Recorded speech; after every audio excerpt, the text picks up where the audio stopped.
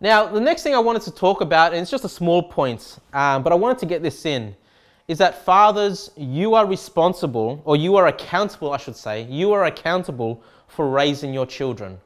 Fathers are accountable to God for raising their children. And I really wanted to make this point because, um, you know, uh, sometimes as fathers, because we're out of work, and because you know, you know, if, if your wife is staying at home and raising your children, we often see that as the, the mother's responsibility. Um, you know, I've experienced this where sometimes I can go throughout, you know, a day or a week or a month and not really think about how the children are being raised because I'm, oh, that's, that's been handled by, by my wife and what have you.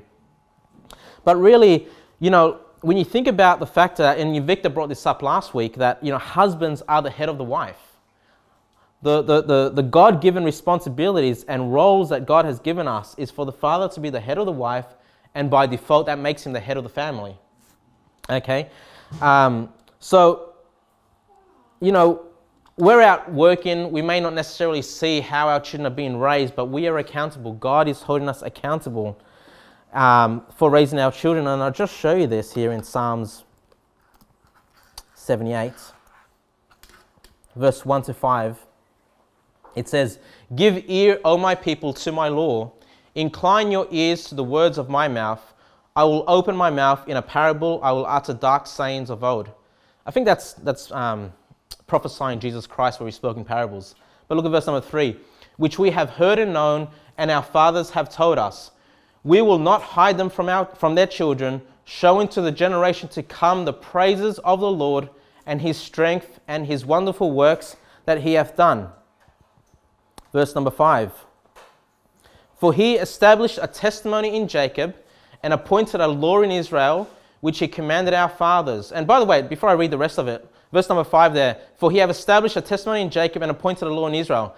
That's what we read in Deuteronomy chapter 4, okay, when God established these testimonies with Israel, which he commanded, look what it says here, it gives us a little bit more clarity, which he commanded our fathers that they should make them known to their children to their children.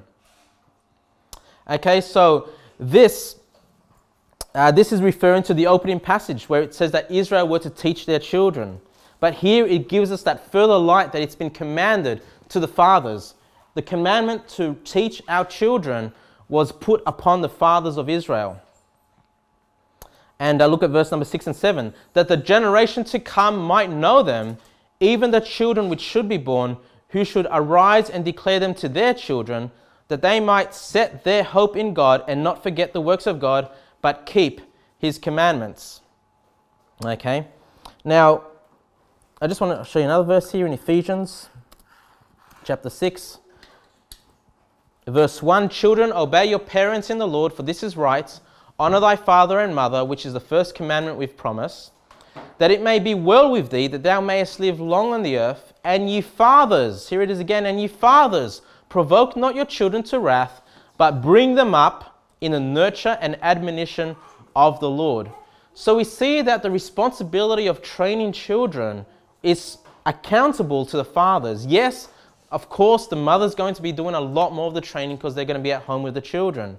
But it is the fathers that was given the responsibility to train up the children in the ways of the Lord. I want you to keep that in mind because raising children is not just mum's responsibility, it is a, a partnership between the father and the mother to raise the child. I mean, it's just like a workplace, right? If you've got a manager, if, if you report to a manager, that manager is accountable for what happens. But then that manager might delegate responsibilities and tasks and make you responsible for carrying out what needs to be done.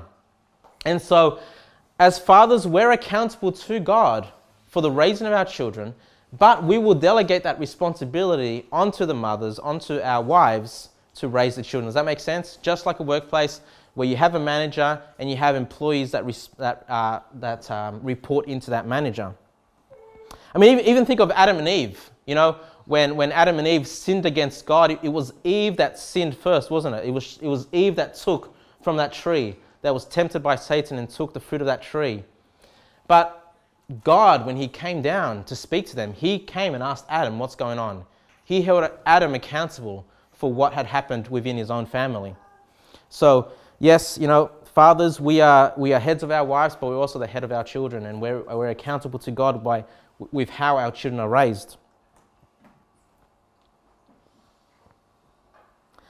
So, yeah, don't leave it up to your wife alone. And the reason I want to emphasize this point is because I'm going to now show you some practical methods of child training.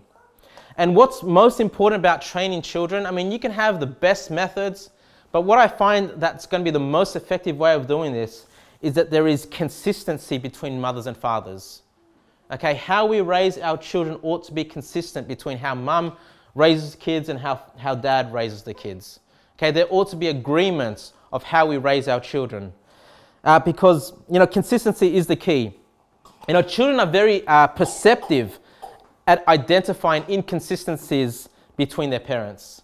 Children find the inconsistencies very easily. They don't just identify the inconsistencies, but they take advantage of them. And you might think back to your childhood. Think back to, to when you were raised by your mother and father.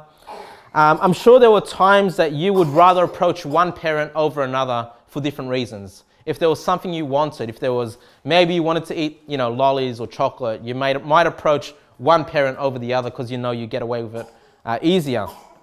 So, you know, we've experienced that as children, and, and this is why consistency is so important between mums and dads so your children don't take advantage of you.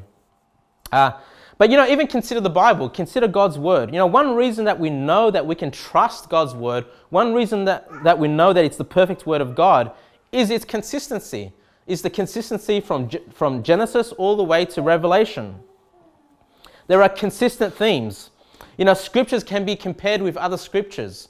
It's not like it's this contradictive book that, that has multiple gospels, multiple ways of salvation. No, you know, we know when you read the Bible as a whole, we know that salvation, the gospel, has always been by grace through faith on Christ alone. And whether, whether that was in the Old Testament as pictures of Christ, things that were being done in the Old Testament, or in the New Testament now that we have received the fullness of the Word of God, the full revelation of the Word of God. Salvation has always been the same. It's always been by grace through faith. And we know, and this is why we trust the Bible, because it is consistent, right? I mean, if we, if we read the Bible and we had 20 salvation plans, we wouldn't be trusting it. And so we understand that the Bible needs to be consistent because that's where we receive our instructions. And mum and dad, you need to be consistent with how you raise your children. It's the same principle. By being consistent, they're going to trust what you're saying to them they're going to be more willing to obey because they know they can't get away with, with one thing or another. So it is crucial for mums and dads to work together and agree on training your children. And if, if you plan on getting married and you plan on having children, which you should, of course, then you know you, you don't have to wait to have children to start talking about these things. I think it's probably best to, to work out what you want to do, how you want to raise your children, what rules and boundaries and, and guidelines you're going to have in place so that you know what's, what, what's ahead of you before you even have children. You're not trying to work that out after you have them.